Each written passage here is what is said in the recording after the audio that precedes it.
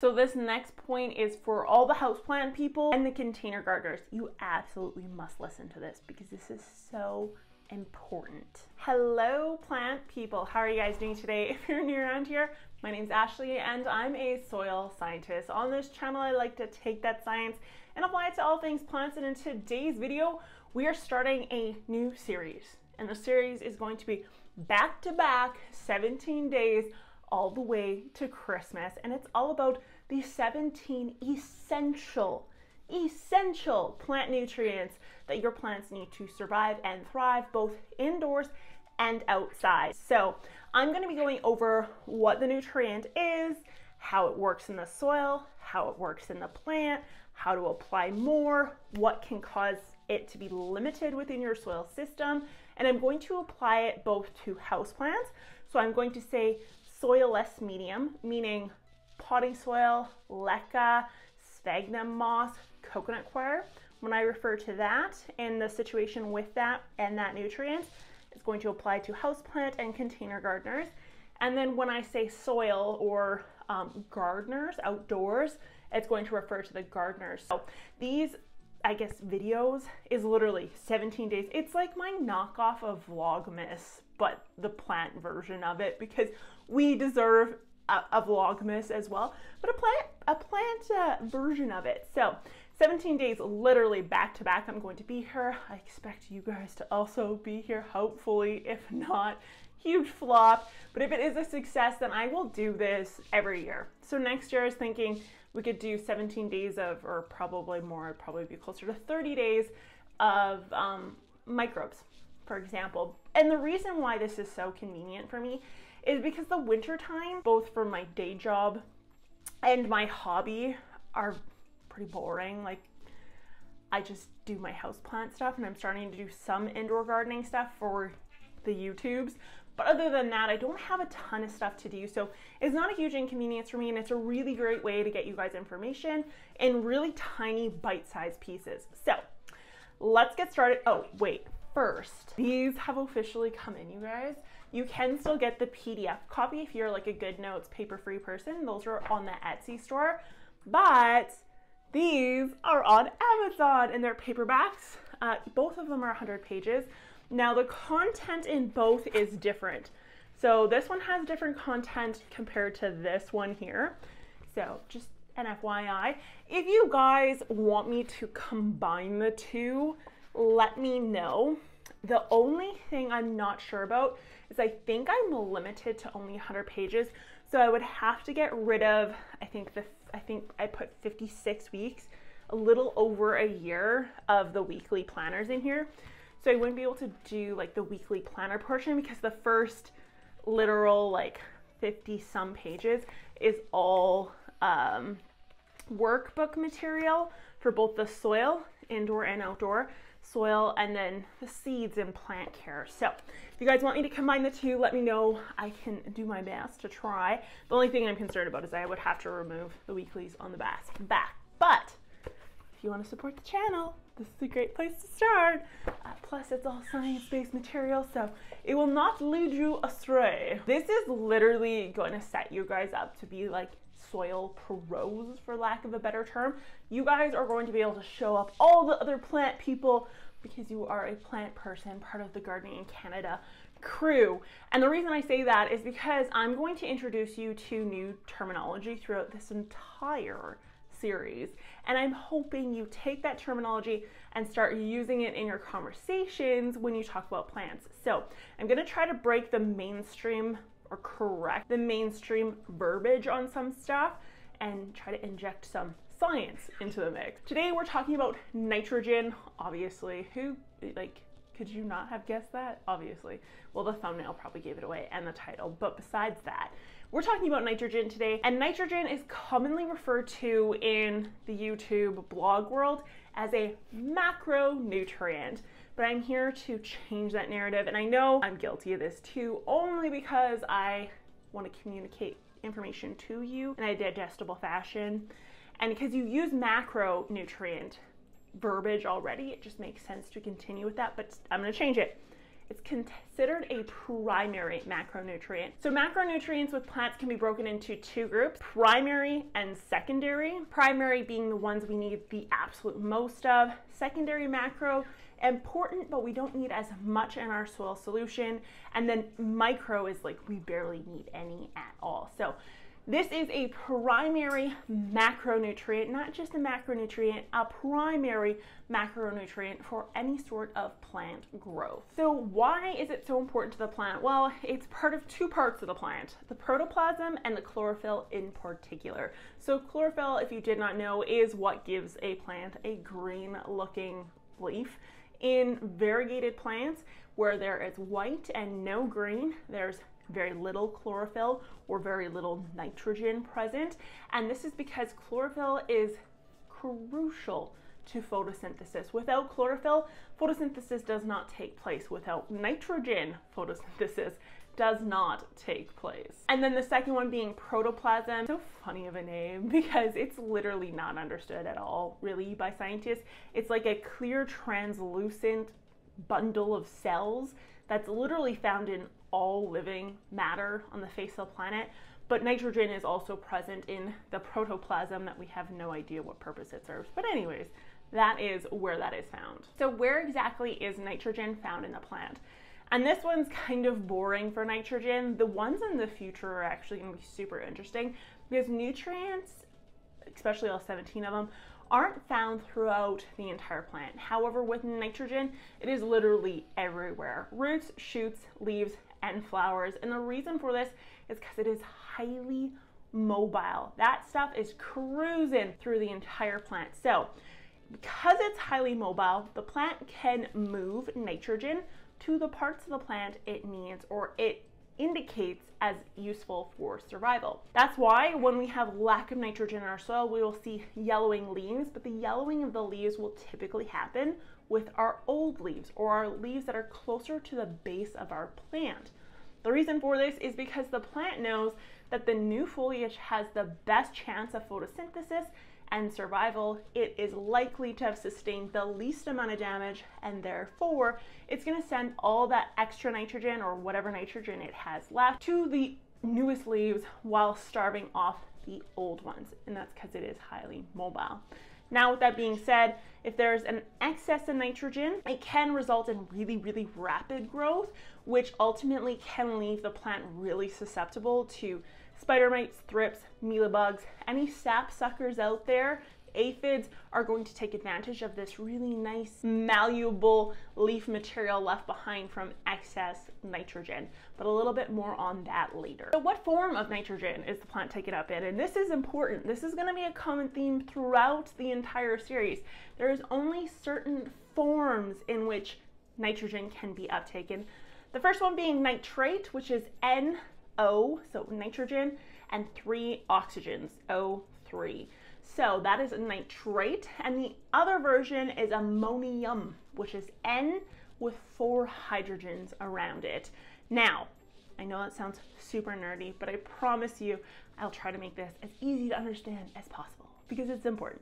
So I hope you guys have a pen and paper ready because this is where it's gonna start getting super nerdy, but going to explain a lot of what I mean or what I'm saying when I tell you things like make sure your potting soil is the dirtiest dirt on the planet because you need the microbes there. You need a really moist, microbially active uh, scenario inside that pot in order for a lot of the processes needed to take place to happen, especially if you're using an organic fertilizer. This goes for organic gardeners too. We're going to talk about here in the next little bit why I talk about having microbial activity and why using organic forms of fertilizer and expecting really miraculous results right off the bat is unattainable because there's a lot that goes into actually making nitrogen that can be uptaken by said plants. So let's jump into the nitrogen cycle, but a really plant heavy version of it. We're gonna skip the grade school version and jump right into the university version of this. So strap your nerdy plant hats on and let's get into it. So the first way in which nitrogen is brought into the soil is through nitrogen fixation. This can be done in a few ways, but two main ones. The first one being nitrogen fixation that can take place by nitrifying uh, bacteria that's able to pull nitrogen from the atmosphere, which is 78 some percent nitrogen, pulls N2 out of the atmosphere and puts it in the soil. The second way is actually through lightning. yes, lightning. So lightning will hit the ground and it actually fixes nitrogen into the soil. Crazy, I know, but it's true. It's actually a pretty big factor in all of it. Now, when it comes to potting soil, we will have some nitrifying bacteria or um, nitrogen fixing bacteria, I should say, not nitrifying, that's a different type of bacteria, nitrogen fixing bacteria.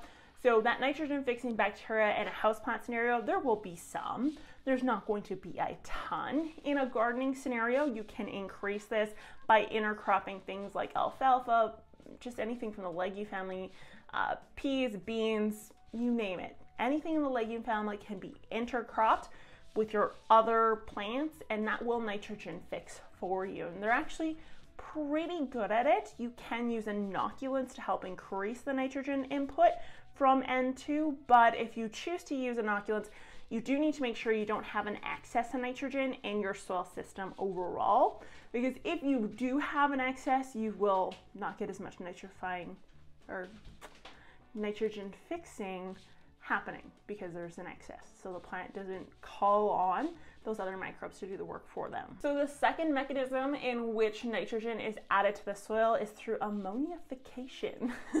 Very fancy word for shit on top of the dirt, literally. So this is in the form of vermicompost, compost, manure, literally anything. Organic matter in general, and in a lot of cases, just organic fertilizers in general is adding nitrogen to the soil through ammonification. Ammonification, ammonification. So the nitrogen is added in the form of NH3. Nitrogen is added in the form of NH4, which we discussed before, is ammonium, which is technically bioavailable to a degree to plants. Has to be in very certain circumstances, which we'll talk about later. But there is some decomposition, um, not even decomposition, but actual uh, chemical changes that need to take place to that ammonium to turn it into nitrate. So the next form would be obviously fertilizer. Now we're gonna talk about this just a little bit later in more depth, but the form that your nitrogen is put in is going to heavily determine how bioavailable it is and kind of what microbial processes have to take place in order for it to become bioavailable. So if it doesn't state what type of nitrogen is in the mix, it's likely ammonium because it's probably organic additive, so it's in the form of organic material. So a lot of processes need to take place, which we'll discuss.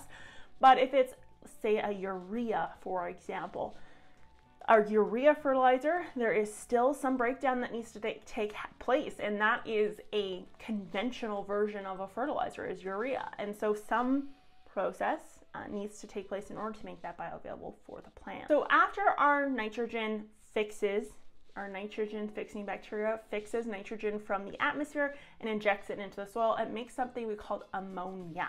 So this is very similar to ammonium, but it's missing a hydrogen.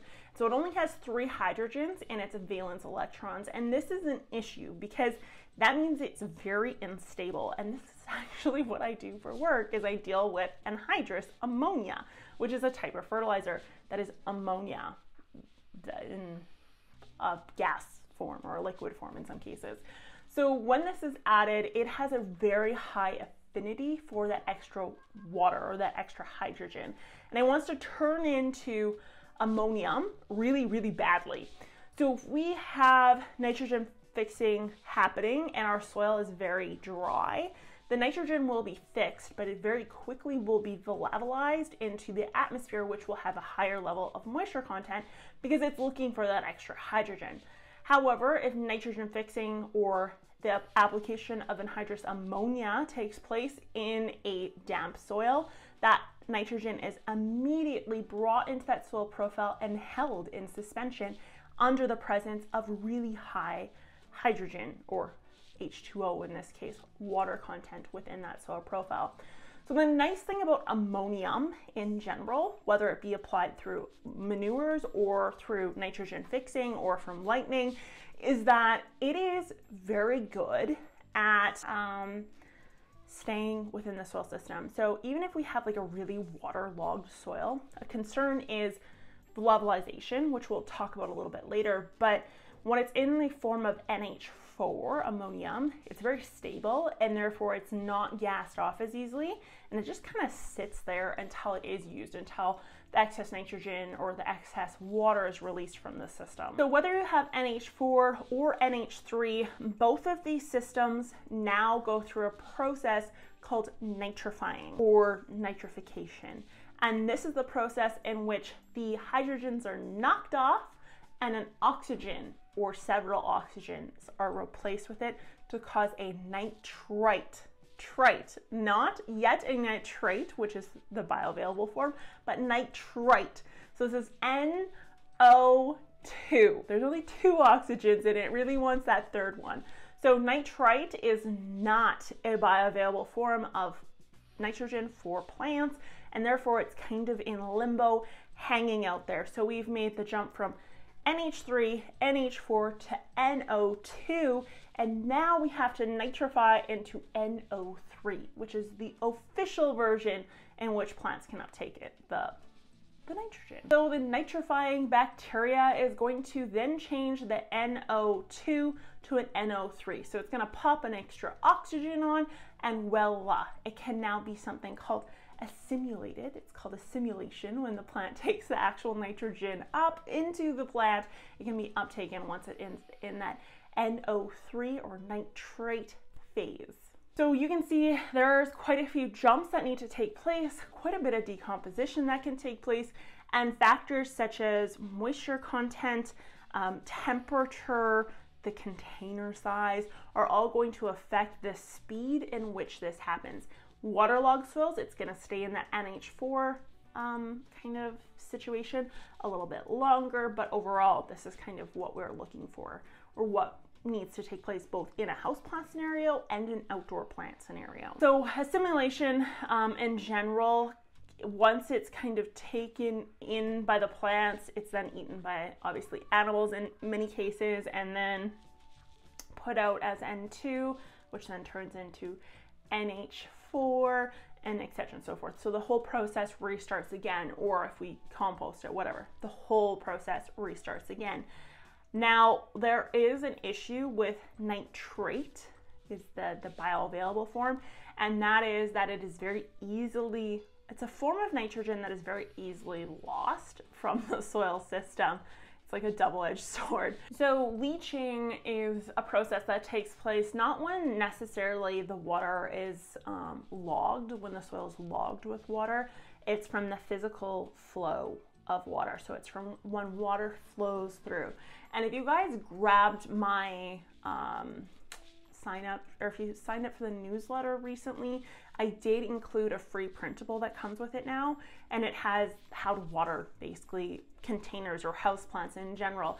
And in that, what I'm trying to get you to do is I'm trying to get you to leach out that excess nitrate that is the bioavailable form of nitrogen. You're probably thinking, why are you making me waste my money? Why are you making me wash my nitrogen down the sink? And it's because if you leave too much nitrogen present, there's a whole host of factors, such as increase in pH, actually, which we'll talk about here in a little bit. But you can have um, an excess of new foliage growth, and that excess of new foliage growth is dangerous because it leaves the new leaves, because it's highly mobile, remember, it leaves those new leaves really susceptible to being eaten by bugs. So I'm telling you to leach it out because we don't want excess, we don't want to over fertilize. And so leaching is the process of the water running through the soil profile and out through the bottom. Leaching is more prevalent and happens more often or, or more likely to have a low nitrogen content or a lack of nitrogen in very coarse soils. So people who do the orchid bark, sphagnum moss, peat moss pumice mix, like that really aroid mix that um, is really, really airy. I've seen lots of plant people do this. that has really high levels of leaching. So you really need to make sure you're fertilizing them. Actually, probably you want to fertilize at full strength throughout the entire year, no matter what. And every time you water, you want to fertilize at full strength because your ability to hold nitrogen is low. And then once you water, it's leached right out of the system. It's very, very quick in doing so. So just something to keep in mind. The second mechanism for loss is actually denitrification. So it's the process in which nitrate is denitrified. So it's taken from a bioavailable form to a non-bioavailable form. And this generally will happen if the soil is waterlogged. And I mean, not moist, not wet, but logged, like meaning you can squish it and water pools. This will start to happen if the water has been in that system in excess for two to three days. So gardeners in the spring, when you're noticing water, the, the soil has thawed out, if the soil is warm and your soil has been logged for two to three days, or you get a heavy downpour and flooding in the summer and it's logged for two or three days, a lot of nitrifi- or nitrogen, nitrate that was bioavailable to the plant is being denitrified. And so you actually have a huge loss in nitrogen. But like I said, NH4 ammonium is completely safe from this process because it has not yet been nitrified. So the bacteria has not nitrified it into nitrate yet. So one of the most significant ways to lose nitrogen is also called volatilization. And this is very specific to top dressers. So this is the no dig people, um, people who are doing um, just like top dressing mulching kind of with a compost or manure. If you're top dressing your house plants, for example, that exposure to air um, and the fact that it's kind of the surface of the soil now means it's very um, likely that volatilization will take place. And what this is, it's, it's, it's just the gassing off of ammonia. So it's the NH3 process. It's gassing things off. And this is really common actually with urea. So with the compost, the manures, urea is one of the main forms of nitrogen in that soil system. And there's nothing wrong with this. Um, it's perfectly fine. But the issue is that it does gas off. So you can have what you thought you applied may not be what's actually available months down the road because you have had a gassing off process. Now, when you use an urea fertilizer conventionally and you top dress again or you broadcast would be the, the proper way of saying that, such as your lawn, for example, again, you're going to have a volatilization. You're going to have a certain amount of loss through the process of gassing off. And the reason for this is because urea is ammonia. So it's that unstable NH3 form. So as it's being decomposed or it's being um, brought into the soil system into the form of NH4, a gas off can happen, especially in really high heat conditions, high moisture conditions, things of that nature. So this next point is for all the houseplant people and the container gardeners. You absolutely must listen to this because this is so important. So there's an electric balance that needs to be maintained both in the root and the soil system. So for every positively charged ion that is uptaken, a positively charged ion has to be left behind in the soil. For every negatively charged ion that is uptaken into the plant, a negatively charged ion has to be left into the soil. This means if the plant is taking up nitrogen in the form of ammonium, so that's the NH4, a hydrogen ion has to be lost and left in the soil. Similarly, when a nitrate is taken up into the plant, a whole compound is left behind, which is called hydrogen carbon trioxide, or also known as bicarbonate. Bicarbonate. So, what does this mean? And this is important. So, if you're using a urea based fertilizer, or an organic form of fertilizer with your houseplants or in your container garden specifically. This goes for the outdoor gardeners too, but because we're in such a big open system when we outdoor garden, it's not, you know, as detrimental. However, it can affect ultimately some stuff, especially if you're in a raised bed garden. you're changing your pH. And if you have a small little system, such as a potting soil or a potted plant, you're releasing a hydrogen every single time your urea is taken into your plant. And so that means your pH is going up, up, up, up. And when we've talked about this before, I've mentioned pH is key to nitrogen or nutrient uptake in general. And the plant must be within a designated range specific to that plant. Now, overall, you know, consensus is 5.5 to 6.5 pH, give or take a couple points off of there. Most plants are okay with that. But if we're using a urea fertilizer, an organic fertilizer, we're releasing a lot of hydrogens into our soil, which ultimately is slowly acidifying, acidification of our soil. So we're slowly making our soil more and more acidic. So we're dropping our pH lower and lower. So again, another great reason to follow the uh, watering document I made. But you want to flush the soil to remove those excess hydrogens, which ultimately can negatively impact your plant. Now, if you're using a nitrate version of for um, a fertilizer and you're getting this bicarbonate release, you're actually doing the opposite. so you're alkalizing your soil. So you are removing technically hydrogens because it is combining with the carbonate, the nate on it, the CO3. It's making a molecule and that molecule needs a hydrogen to be stable. So it's pulling hydrogens out of the soil and putting them inside of the bicarbonate.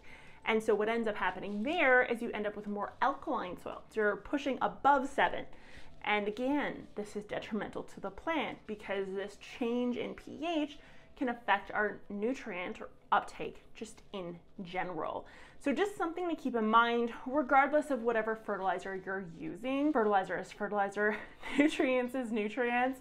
Um, this is kind of where like the organic thing versus conventional just like breaks my brain because at the end of the day, the plant doesn't care where the nitrogen source or any nutrient source came from, just cares that it's in the right format. And both versions of nutrients, conventional or organic, are both going to alkalize or acidify the soil based on whatever the component that was applied is put in. So, the fun fact there. So, if you have a small volume of soil and you're using a fertilizer, which I hope you are, just keep in mind your pH can change. It's something that you may want to either measure or check for, and then simultaneously repot or change that medium or flush that medium on a regular basis in hopes of removing that uh, bicarbonate or the excess hydrogen ions, which I mean, can work to a point, but you're obviously limited in some circumstances as well. So this next one is for all the gardeners out there, and I'm about to break your brains because uh, blossom end rot is like kind of one of those things that just drives me insane. There's so much misinformation as to what's even going on when this happens. But anyways, I'm gonna give you one scenario in which blossom end rot happens and has to do with nitrogen, actually surprisingly. So the use of organic um, fertilizers is a double-edged sword. And so with organic fertilizers, you can, in a lot of cases, end up with blossom end rot. And the reason for this is because the form of nitrogen added is ammonium, which is the NH4. And NH4 is a replacement for nitrate in the soil system, which is in direct competition with potassium, calcium, and magnesium. So NH4 is in direct cation competition with those other three mechanisms, which all of which are, you know, causes for blossom end rot. So if you're using organic fertilizers, you really, really need to watch how much you're applying. You cannot just dump this stuff on because over time you will have increased levels of blossom end rot. The reason for this is because, like I said, in the soil system and in the root system in general, that NH4 is in direct competition with calcium, magnesium, and potassium. And what ends up happening is because it's battling out sites to hang out in, nitrate, or sorry, ammonium NH4 is winning every time because it is a nitrogen with like four bodyguards on it. So it's just going to kick out all these single molecules because they're weak and insignificant. They don't have the bodyguard, you know, they don't have the entourage with them. So they end up getting booted out. So your plant in general is going to look like it's growing very, very nicely. It's going to be very happy. But in reality, it's missing three very key components because those three components have just been eliminated from being absorbed at all. So I would suspect a lot of cases of blossom end rot um, have a lot to do with the fact that folks are fertilizing with the best intent, but in reality, they're over applying nitrogen and it's occupying much needed interactions for those other molecules to take place. That is all I have for you guys on nitrogen. If you guys enjoyed this video, be sure to give it a thumbs up. Let me know in the comments down below what you learned, what is new to you, what you never realized was a thing when it came to nitrogen. Like I said, this is day one of 17 days, and I don't think like they're not all going to be this long, but these primary nutrients are going to be long. They're going to be catastrophically long, only because there's so much information that you guys need to know. I hope you enjoyed this series. I'm literally going to be here every single day until Christmas. This is my Christmas present to you guys. And if you are still watching, stop lurking, hit that subscribe button. I know you want to join our awesome crew of people. And uh, stay warm. I will talk to you guys next time. Bye.